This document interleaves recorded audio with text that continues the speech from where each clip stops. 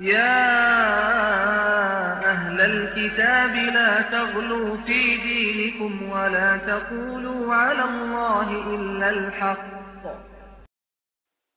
إنما المسيح عيسى بن مريم رسول الله وكلمته ألقاها إلى مريم وروح منه.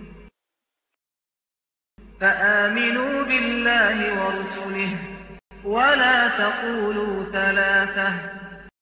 انتهوا خيرا لكم.